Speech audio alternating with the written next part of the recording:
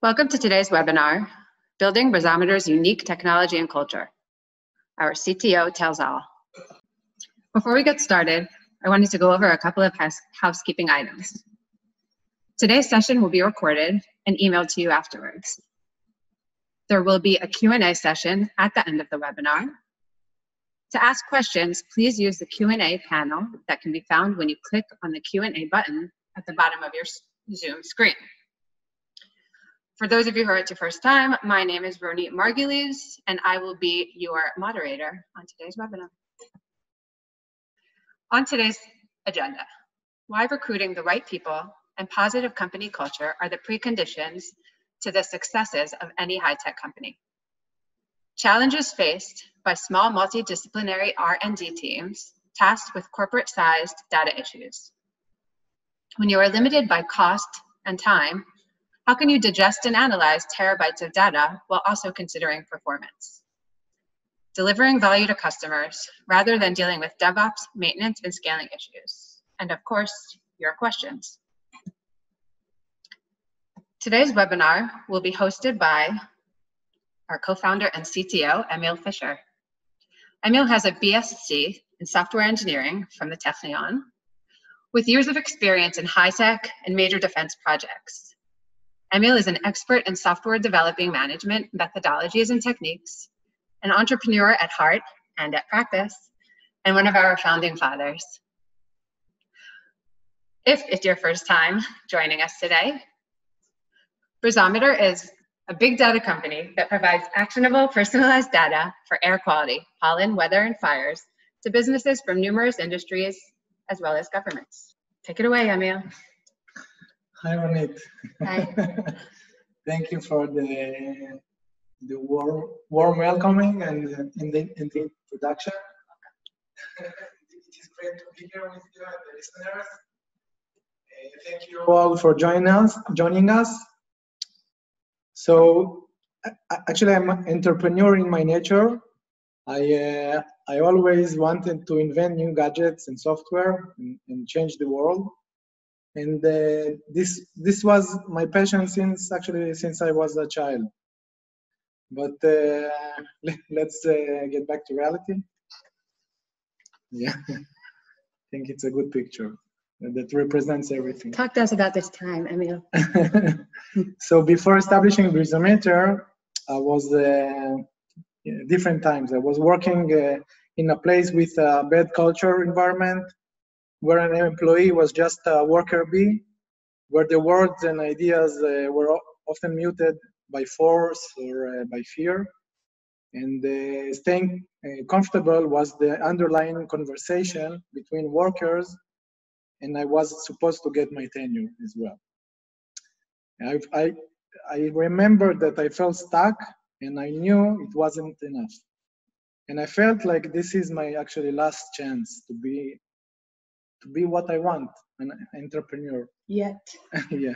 But. But, but still, actually, if I uh, go back in time, it was a hard decision for me to leave my company and establish BreezoMeter. Uh, I think of, of of that time where where it, it was scary. My wife, she was she was pregnant, and I was about to get my tenure, as I mentioned, we were looking for a house to buy, and uh, we had the financial obligations, like my wife that was in the middle of her second degree. So it was very hard. It was a very hard decision. Uh, but it was then uh, that Ran, my best friend in the last 21 years, and today uh, BreezoMeter CEO, approached me with an idea that answered actually to all key elements missing in my career path back, day, back in the days. Uh, according to the World Health uh, Organization, air pollution is the 21st century epidemic. And according to the EEA, the European Environmental Agency, air pollution is currently the most important environmental risk to human health. Uh, the idea was to make the environmental data like air pollution, but not only visible it was a it was a project that I uh, could believe in strongly. Uh, a space to be creative, to build something significant for the society, uh, to do it to do it from scratch, and and as I mentioned, to invent things and change the world, and and that I would be able to establish a startup that puts focus on the right culture and celebrates its employees, and it would be their contribution and the culture that would be the secret sauce to the success of the company. I have to say, I mean, it's an ambitious goal, but I mean, here we are years down the line and, and the dream was realized. And I can say actually personally as part of the team that I'm grateful that this was your strategy for success. But I, I mean, our listeners, like, I don't think that they're going to buy that this was a straight line to success. We're talking about a startup that had that was taking on a big data task in a field that was only emerging and actually pretty dependent on how many consumers really cared about air pollution. Yeah, so there are, uh, as you mentioned, there are many challenges. And, Just a few. And even, and even more. Uh, and this is one of the things that makes BreezoMeter unique. Uh, I can name several challenges, but uh, it's, it's a short list. Uh, but actually, there are so many challenges. Uh, we need to raise the awareness about, for example, about air pollution uh, and, and what and, and what it makes and, and how harmful, harmful it is. We need to educate the market and educate the people because air pollution is invisible and it's hard to fight an invisible enemy. And sometimes you don't you don't understand that the enemy is is just next to you because it's invisible, but it it uh, shortens your your life. Uh, we need to, uh, we sell API, we sell data, we provide services. Uh, but if we focus on API, selling API is hard. And selling environmental data is even harder because it's a, it's a niche. Um, we also provide our data to many different business segments, uh, such as uh, pharmaceutical companies, automotive industry, smart cities, IoT, smart home devices, and many many more even cosmetics. And uh, and it's it's always hard to create products that speaks in in, in a new language for different business segments Eh, of what is their quality or what is the what, what is the pollen level at your location in real time because it, it's really it's something unique it's something that has never has never been done before we also, we, we don't just provide data, we provide accurate data. So providing accurate data is, is a big challenge. It's not just garbage in, garbage in, garbage out. It's really accurate data, personalized data, and really democratize data at your location for you. We also need to deal with SLA, uh, performance, uh, big data problems. Uh, maybe we'll talk about it soon. Uh, and, and of course, to provide the environmental data, you need a strong multidisciplinary team of software engineers and environmental engineers and big data experts and machine learning experts and, and uh, atmospheric uh, scientists, algorithms, and, and, and more. So they need to speak in one language, although each and every one of them studied something differently. We, we need to develop many products and we also need to provide our uh, products to to consumers and businesses. Not an easy task essentially you're creating a possibility for people that don't know the possibility exists people and businesses within this multidisciplinary team and data. So i mean we're a technological company. Is technology the answer here? So many many digital initiatives fail because of uh, an overemphasis on technology, and I'm the CTO of the company. Saying that. Uh, but today, technology for me is commodity, and uh, in most cases, start, startups don't fail because of technology barriers. Technology alone would not be the, the means to our success. The biggest challenge for us and I believe should be for any successful company is uh, is finding the best people. recruiting A players for BreezoMeter, and I'm uh, highlighting A players for us because maybe there are other A players for other companies. I always like uh, to quote Guy Kawasaki, uh, was a chief evangelist uh, working with Steve Jobs twice. Before leaving Apple and after re returning to Apple, he said always hire A players uh, because if you will hire B players, then they will hire C players and you will end up with the Z players that will hire bozos. not useful. yeah. So we are not looking for mercenaries. We are looking for people to be part of our family. Uh, we are people. We are uh, we are looking for people that they need to be connected to our, our agenda of of improving the well-being of billions of people worldwide which are exposed to environmental hazards every single day. And they need to, to be connected to, to the agenda somehow. If it's, uh, for example, due to the freedom of information law, or if, if they want to do good, or uh, if, uh, if they want to leave uh, the world a better place to our children. So they need to be connected to our agenda. I can tell you, for example, that when I joined, I was looking for a way to make a difference, and all the you know these big um, ventures, these big ideas seemed too big for me to have an effect on the world. And this was something that I really connected to. Here, I was able to affect change via the work that I would be mm-hmm. doing at BreezoMeter. Exactly. But as I mentioned, we are not looking for mercenaries. We're also looking for people that are passionate about what they're doing, people that that their their work is also their hobby. And this is for me, this is very important. We're looking for people that are team players uh, because of the multidisciplinary team and multidisciplinary effort. We look for for, for self-learners, people who are positive, but yet they are humble, and people that that will go to a battle with us when needed. People that I can trust them to be there when is needed.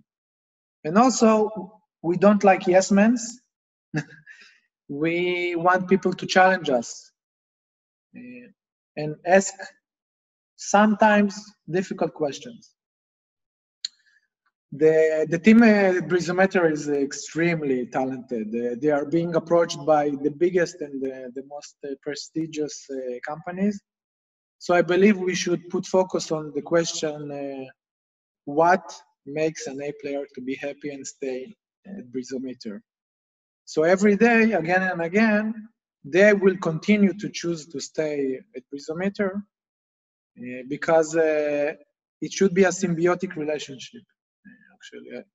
Each employee, for, for me, each employee needs to prove that he deserves to work at BreezoMeter, but uh, vice versa. BreezoMeter also should make sure it deserves to hire such talents. Yeah, so, so if if I'll focus on what makes an A player to be happy and stay, and this is something that uh, I thought about a lot in the last six years, and uh, and and I shortened my list to to the fo following uh, points. Uh, I I really believe that if you work with people that are also A players, so they also they teach you, they push you up, and uh, and it's a different uh, working environment rather than just working with uh, B players. I, I want other people to, to teach me. So they need to be A players.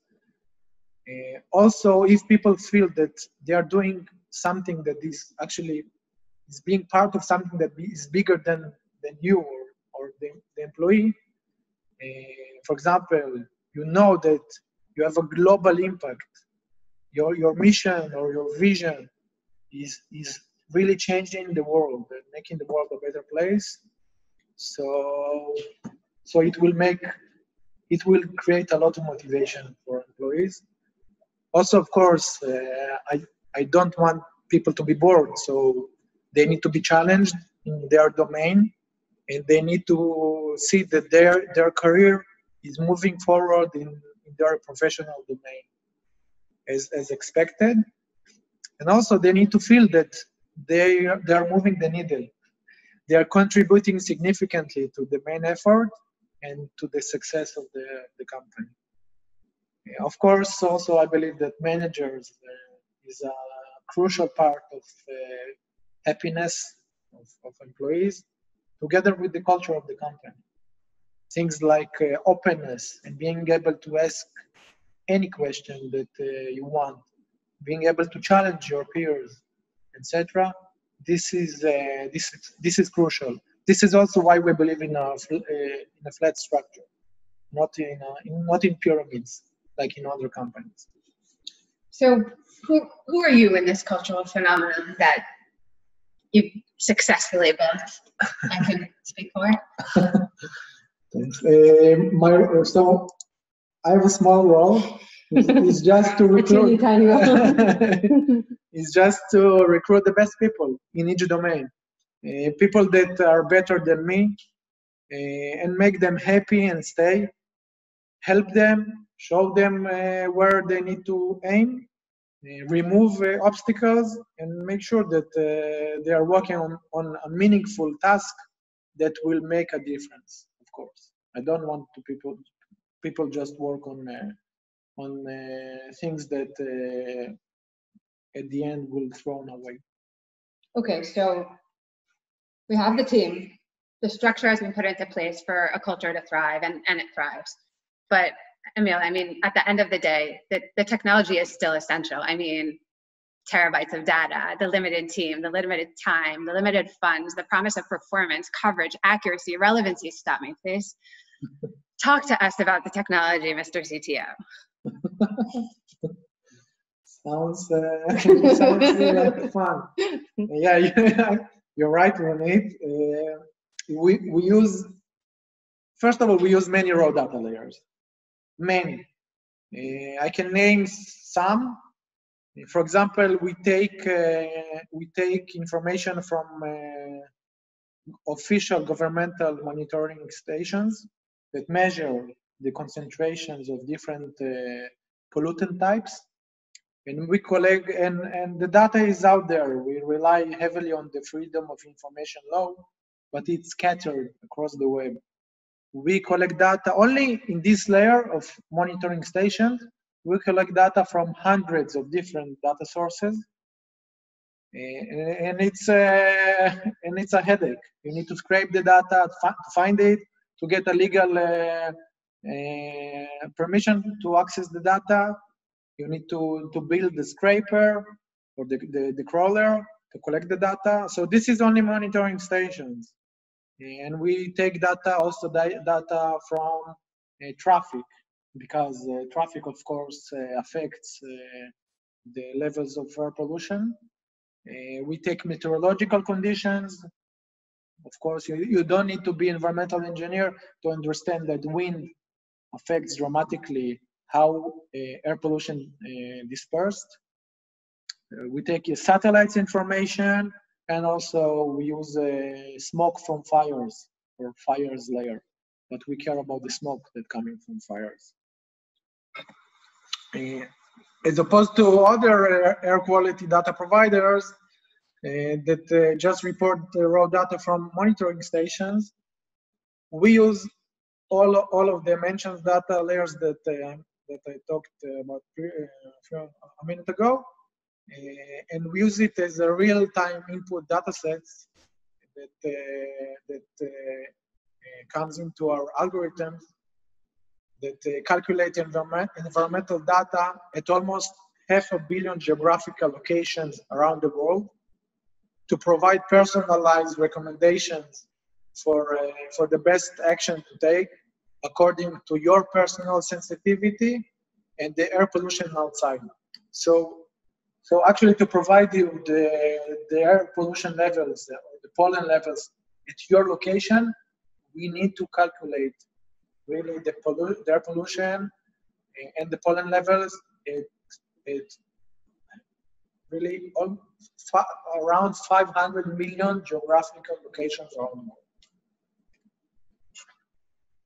So yes, we also deal with, uh, as you understand, with massive data loads, around petabytes uh, per month. It's, it's a lot of data, uh, even for big companies. We have to be able to calculate billions of pollutant concentrations around the globe using our uh, complex algorithms, more than 35 algorithms. And we use uh, thousands of uh, virtual machines to, cal to calculate billions of pollutant, pollutants concentrations. And we analyze almost uh, two terabytes of data each hour again and again. Yeah, it's, it's quite a lot. I think 10 years ago, it wasn't possible for, uh, for, uh, for even for big companies because it's, it's a lot of computing power and it costs a lot of money. And also, as you guys can see in the video that I'll start to play in just one moment. The pollution changes it just it and disperses at, at, over the course of minutes and hours over the course of the day um, from one location to another. So I, I'll just take a stab in the dark on this one, Emil, but that must need a lot of computing power, all the while providing this data in real time, not to mention doing so in dozens of countries in parallel. The, the pressure on our developers must be massive. Yeah, exactly. This forces us to be focused and efficient. Uh, and uh, as a big data company, uh, choosing the right cloud platform was extremely critical for us. After examining several solutions, we chose to work with uh, GCP, Google Cloud Platform. It enables us to focus on delivering value to our customers rather than dealing with DevOps, uh, maintenance, and scaling issues. GCP also provides us uh, technological peace of mind and uh, enables, enables us to focus on uh, technological efforts on our critical challenges to keep uh, driving our business forward. And uh, I can, uh, if you want, I can share with you several examples on how exactly GCP does that. Please. Yeah. Okay. So, so I can we are we are uh, we are a big fan of uh, managed solutions because it, saves a lot of time. We, we don't just want to work with uh, bare bone metal or just uh, just virtual machines, but rather we prefer platform as a service rather than just infrastructure. So Google's managed solutions has been a game changer for us for example, thanks to App Engine, uh, dealing with API queries is super dynamic. We don't have to worry about load, load balancing, uh, uh, operating systems, uh, scaling issues, server maintenance, and erratic, erratic load changes. We just deploy uh, our code and let Google handle everything else, which is great, especially for uh, small teams or relatively small teams.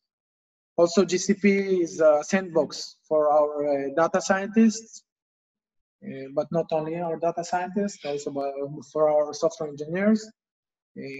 GCP Data Studio and Data Lab significantly reduced the cycle of de developing and deploying new algorithms. Also, for example, uh, back in the days, our environmental engineers, they wrote code in MATLAB and then software engineers had to shift that code into Python and then to deploy the code uh, to the to the operational environment. But actually, today, environmental engineers they write code. Uh, yeah, they write code in Python in the cloud. They, they deploy the, their code uh, to the cloud, Amazing. which is really uh, mind blowing. if if you had you if you had asked me this question uh, six years ago, I would tell you that it will be a big challenge. But now it's reality. So, uh, so also uh, in our uh, in our vision, when you take your son and daughter to the park, or, or you are on your way to work, or uh, having dinner with your loved ones, you really know what you're breathing and how it impacts your health. So therefore, you, for such a responsibility, we had to choose the most scalable, flexible, and uh, innovative, innovative platform. And I, must say that uh, the fact that their uh, team is located in Israel and we work very closely with them, uh, made it much easier. So GCP was and still a great match for us. I want to just sum it up for everyone. Um, I sent um, an email today asking if you guys had any questions, and somebody asked, um, "What is your biggest asset?" What, what, how would you answer that question? I think uh, it won't be a surprise if I'll say that uh, the biggest asset is not uh, the virtual machines or uh, the office uh, or the equipment, but just just the people, the really the A players that I mentioned. They are they are the secret sauce for the success of the company, and and and all of our achievements is is thanks to them. Amazing. Um, thank you so much, Amir. Um, we've come to the Q&A portion of the webinar. Please, everyone, feel free, send in your questions. Uh, we have time for a few.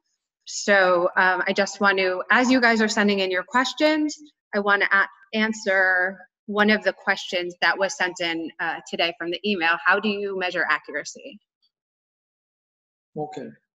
So we have several uh, methods uh, to measure accuracy. First of all, uh, accuracy is a huge and significant part in our uh, daily work.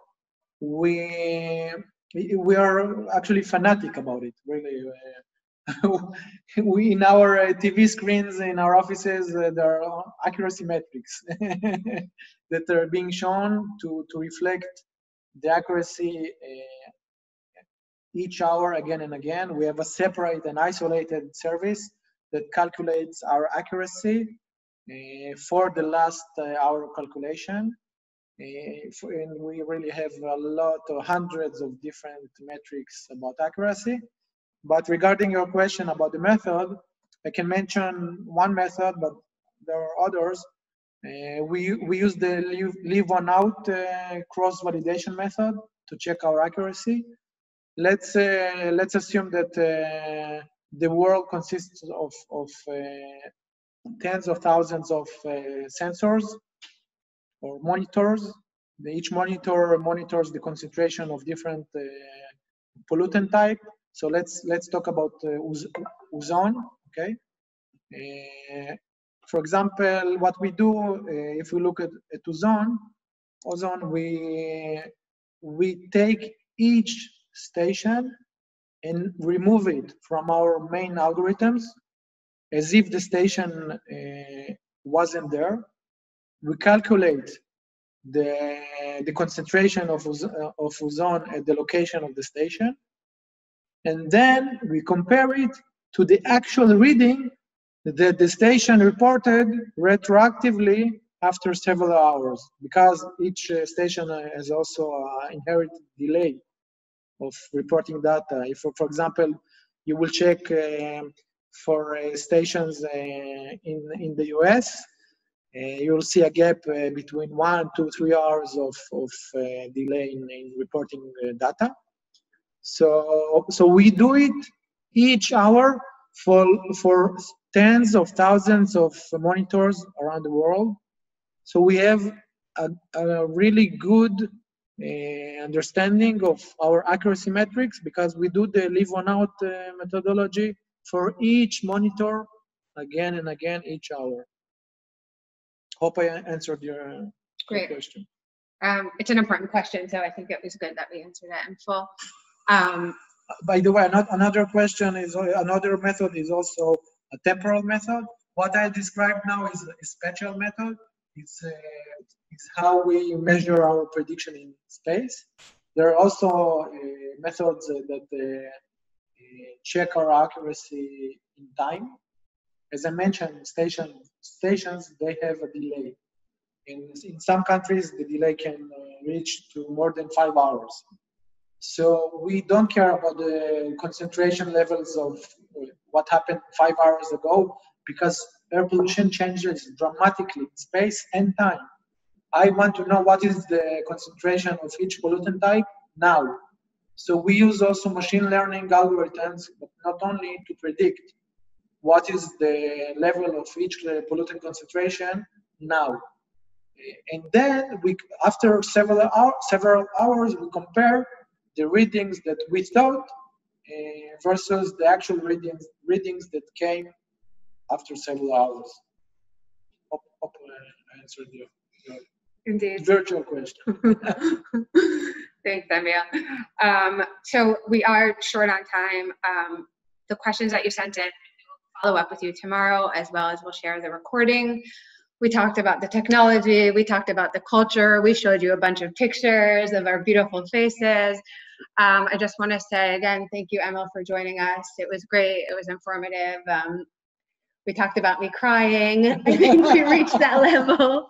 Thank you guys for joining us. Thank you for keep for continuing to come back, and um, we will see you. And, and thank you, Ronit, for uh, hosting this webinar, but not only this webinar.